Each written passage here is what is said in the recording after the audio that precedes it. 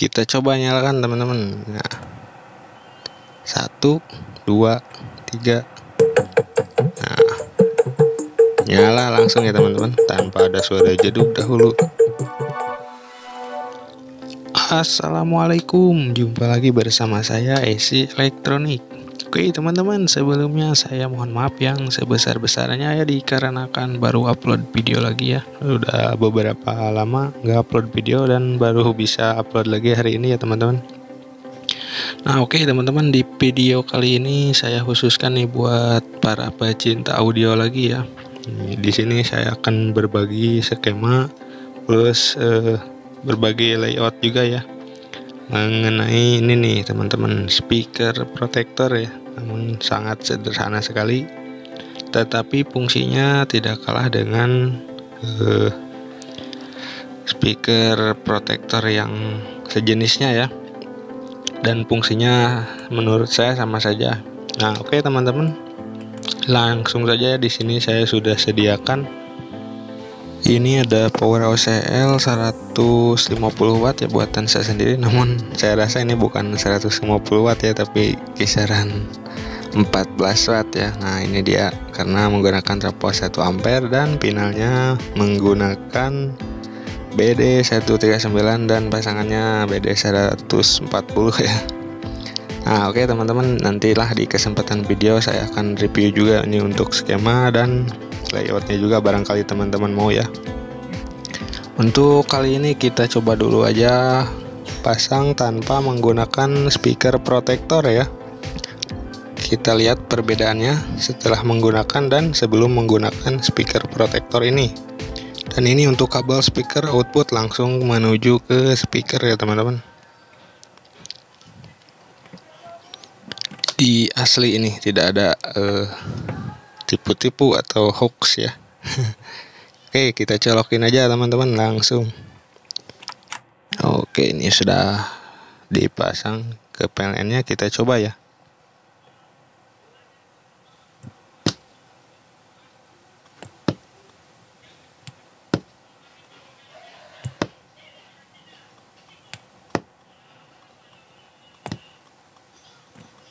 Nah bisa dilihat ya teman-teman ini dari speakernya juga bedep. Dia ke atas langsung ya. Begitu dimatikan ataupun dihidupkan. Nah lalu berikutnya kita coba pasangkan dulu ya untuk komponen speaker protektornya. Nanti biar teman-teman juga paham untuk masing-masing komponennya. Oke di sini sudah saya sediakan juga untuk masing-masing komponennya. Ada resistor, transistor, kapasitor, dioda, dan relay ya. Sangat simpel sekali teman-teman Nah ini ada resistor 33 kilo. Kita pasang dulu ya teman-teman. Jadi teman-teman tonton sampai habis ya. Nanti di akhir video saya akan eh, kasih skema berikut layoutnya juga ya. Barangkali teman-teman mau atau mau coba bikin di rumah untuk powernya eh, teman-teman sendiri ya ini sangat minim sekali biayanya juga teman-teman. Nggak habis 50.000 paling cuman berapa ini? Cuman 10 ribuan nggak nyampe kayaknya. Nah kita pasang untuk uh, transistornya diodanya dulu ya teman-teman. Untuk dioda menggunakan dioda biasa saja dengan kode 4002, 4007 ataupun 4001 ya bebas teman-teman yang penting ini syarat buat relay aja. Agar tidak terjadi feedback tegangan balik dari coil relay ya. Pokoknya nanti eh, ini udah saya lengkap lah pokoknya. Ada skematik layout dan juga eh, tata letak atas ya. Ataupun layar atasnya untuk tulisan-tulisan komponen. Nanti teman-teman bisa cetak sendiri atau mau cetak manual terserah teman-teman lah nanti. Pokoknya ini khusus aja buat teman-teman yang pecinta audio nih. Karena saya jarang upload jadinya saya kepikiran nih bakal bagi-bagi skema atau layout gitu. Nah oke ini ada transistor BC547 ya. Bisa menggunakan transistor yang jenis NPN ya yang lainnya. Yang penting jenisnya NPN saja namun untuk pin out kakinya nanti disamakan saja ya teman-teman. Bisa menggunakan C945 C1815 bebas lah pokoknya. Yang penting NPN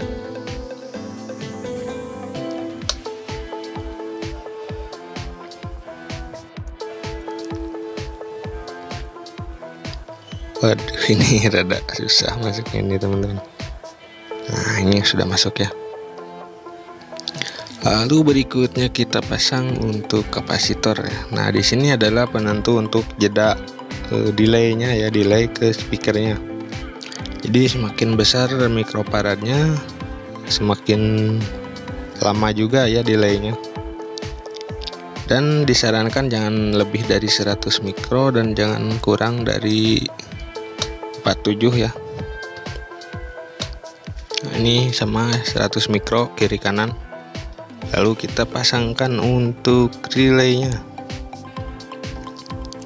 Nah ini sudah saya solder ya. Di skip aja biar cepat teman-teman. Nah, dan ini untuk relaynya menggunakan relay 12 volt ya.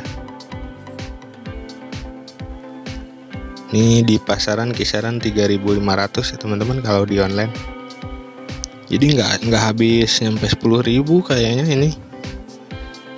Kalau saya hitung-hitung.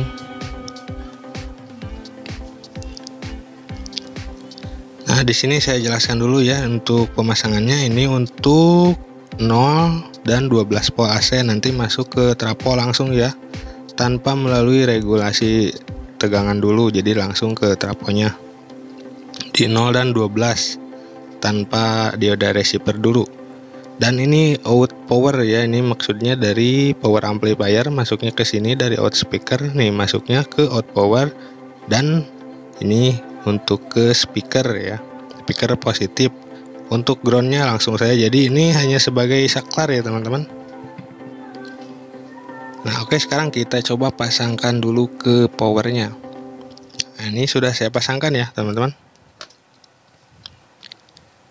Nah, bisa diperhatikan ya nih poin penting teman-teman agar tidak gagal paham ya nanti dalam pemasangannya jadi ini untuk 12 volt AC dan no AC ini masuknya nih langsung ke trapo ya. Jadi sebelum receiver ataupun filter tegangan ya atau dioda penyarah. Jadi ini langsung saja ke trapo 12 dan no atau CT ya. Tanpa melalui receiver dioda dan filter tegangan dulu. Jadi nanti kalau dipasang di sini ketika dimatikan dia langsung ikut mati juga ya. Tetapi kalau dipasang setelah elko dan dioda receiver itu ketika dimatikan dia belum mati ya relaynya. Nah, oke okay, teman-teman jadi begini cara pemasangannya. Ini dari out power ya. Nah out power masuk ke out power juga. Lalu untuk ground langsung ke negatif speaker dan untuk ke speaker positifnya dari tulisan to SPK ya to speaker. Nah oke sekarang kita coba teman-teman. Tanpa eh tanpa. Dengan menggunakan speaker protector ya. Nah oke ini sudah dinyalakan ya powernya. Kita lihat dulu.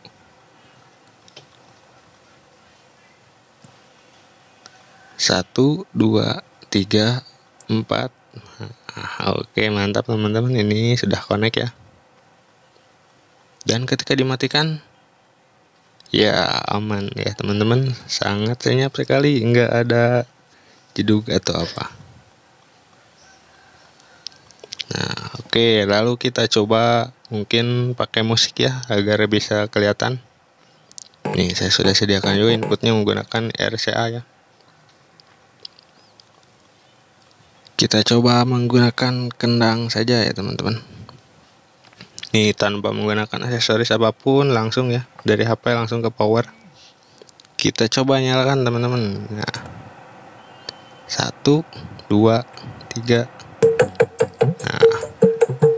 Nyala langsung ya teman-teman tanpa ada suara jeduk dahulu. Jadi begitu cara kerjanya teman-teman ya. Kurang lebih samalah dengan yang speaker protector yang ada di pasaran ya. Cuman ini lebih simpel lebih murah dan lebih gampang juga membuatnya. Ya masih teman-teman juga bisa lah semua membuatnya ya. Nah jadi ketika dimatikan dia langsung mati juga ya. Mantap teman-teman. Kita coba lagi.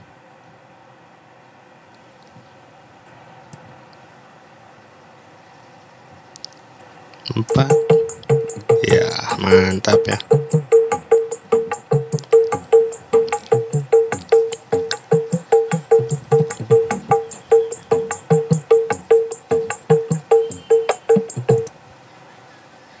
ketika dimatikan pun langsung dia berhenti ya, tanpa ada suara jeduk sekali sedikit pun ya.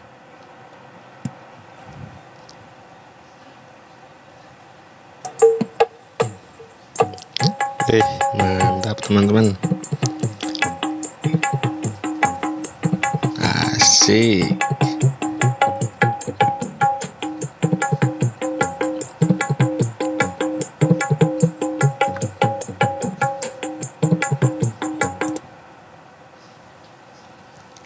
Ya, kita coba lagi.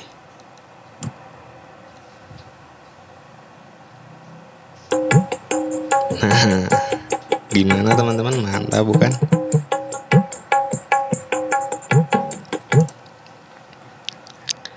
Nah, oke okay, mungkin eh, di kesempatan video kali ini saya cukupkan dulu sampai di sini ya teman-teman. Dan untuk teman-teman yang mau skema, mau layout dan juga skematiknya, teman-teman langsung saja ya chat di WA nomor ini. Gratis teman-teman.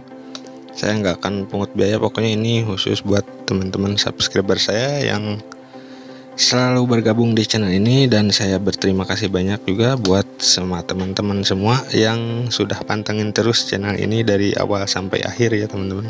Jadi mohon dukungannya dari teman-teman semua agar channel ini terus berkembang dan bisa terus berbagi ke teman-teman lagi seputar elektronika dasar atau elektronika umum ya. Dan untuk power OCL ini nanti saya akan share juga ya di video berikutnya. Insya Allah nanti saya akan bagi juga nih, bagi-bagi juga ya. Untuk skema dan desain layoutnya juga. Oke teman-teman, Sampai jumpa lagi ya di kesempatan video berikutnya. Saya ucapkan Assalamualaikum warahmatullahi wabarakatuh. Mantap teman-teman.